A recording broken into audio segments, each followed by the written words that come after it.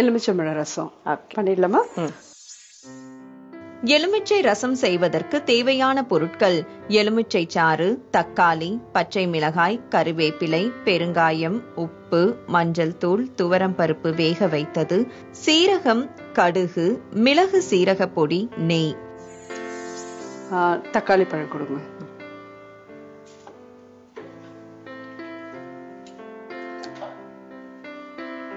தண்ணி கொடுத்துருங்க.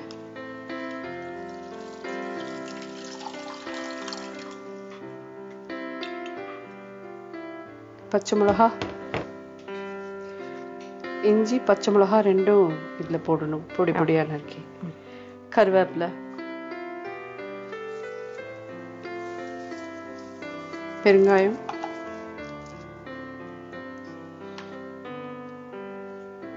So, ரசத்துல நீங்க எக்ஸ்பர்ட்னு எங்க எல்லாருக்குமே தெரியும். ஒரு தடவை கூட சொன்னீங்கல்ல உங்களுக்கு எத்தனையோ விதமான ரசம் வைக்க தெரியும். இருக்கு. சாம்பார் பொடி கொடுங்க இது ஒரு கால் ஸ்பூன் கிட்ட போட்டுக்கலாம். ஓகே இப்போ இதை கொதிக்க விடலாம். இதுக்கு தேவையான உப்பு கொடுங்க.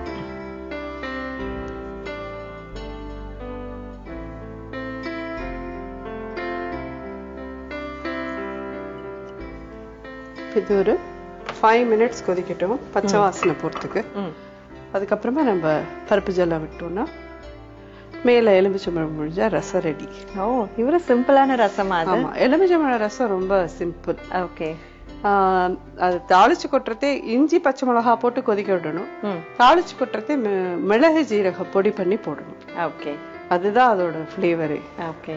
இன்ஃபேக்ட் அது அடி வண்டல் வந்து தால் மாதிரி இருக்கும்.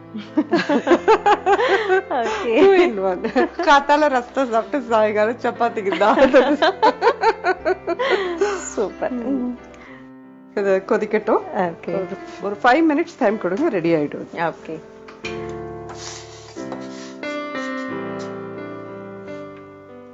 கொஞ்சமா இதுல மஞ்சப்பொடியும் போடலாம். கொஞ்சம் கலர் நல்லா இருக்கும். ஓகே கொதிக்க வச்சு போட்டோம்னா ம். கலர் நல்லா இருக்கும். இது சொல்ற மாதிரி பிரசன்டேஷன் ஒரு இது இருக்கு இல்லையா? அதுக்கு தான் இதெல்லாம். இப்ப கொதிக்கிறதே பார்த்தீங்கன்னா இது கலர் எவ்வளவு அழகா இருக்கு இது நல்லா கொதிச்சுட்டு இது நம்ம பருப்பு ஜல்ல விடலாம். ஓகே.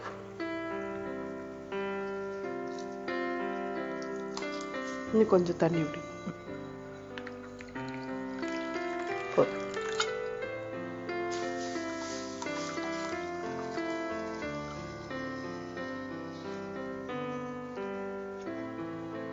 இதுக்கு வேணுங்கிறது தாளிச்சு கொட்டிடலாமா? ஓகே. நெய். அது நான் ரெடியா ஸ்பூனோட இருக்கேன் பாருங்க ரசம்னாலே நெய் தான்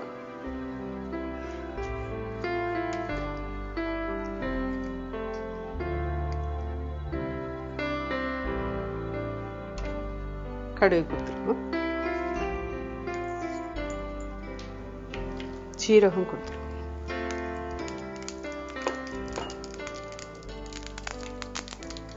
அண்ட் மிளகு ஜீரக பொடி நான் பண்ணி கொண்டு வந்திருக்கேன் இது இந்த ரசத்துக்கு வந்து ஒரு நல்ல அரோமா கொடுக்கக்கூடிய சமாச்சாரம். ஓகே மிளகும் சீரகம் ஜீரகமும் ஈக்குவல் அமௌண்ட் போட்டு மிக்சியில் பொடி பண்ணி வச்சுக்கணும் ஓகே இது அதில் போட்டுடலாம்.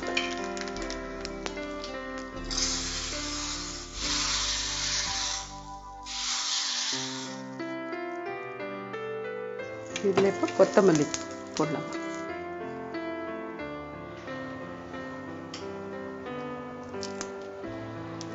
ரசம் எப்பயுமே எல்லோவா நுரைச்சி வர வரைக்கும் வெயிட் பண்ணணும்.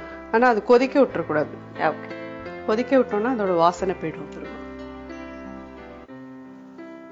நுரைச்சி வந்துடுது பார்த்தீங்கன்னா இந்த அணைச்சிடுறேன் இப்போ. அணைச்சிட்டு எலுமிச்சம்பழம் புழிஞ்சிடலாம்.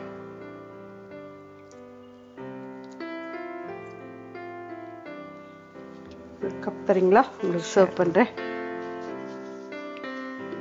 ஸோ அப்படியே நம்ம அணைச்சிட்டு எலுமிச்சம் பழம் ஆஹ் முன்னாடி சொன்ன மாதிரி கொதிக்க விட்டோம்னா கசந்து போயிடும். அப்படியே. சூப் மாதிரி இருக்கும். ரசமே சூப் தான். அவங்க வந்து டிஃப்ரெண்டா அது வச்சுட்டு சூப்னு சொல்லிட்டாங்க. நம்மளோட அப்பிடைசர் வந்து ரசம் தான்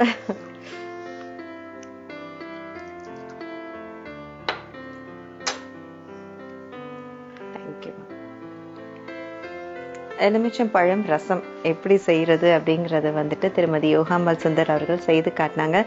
இப்போ இந்த டிஸ்டன்ஸ்லயே வாசம் அப்படி இருக்கு. பருப்புடைய அந்த ஸ்மெல் தனியா தெரியுது. அப்புறம் எஸ்பெஷலி உங்களோட நெய். நெய்யோடைய வாசம் எல்லாமே வந்து ரொம்ப நல்லா இருக்கு. இப்போ என்னுடைய சுவை எப்படி இருக்குன்னு பார்க்கலாம்.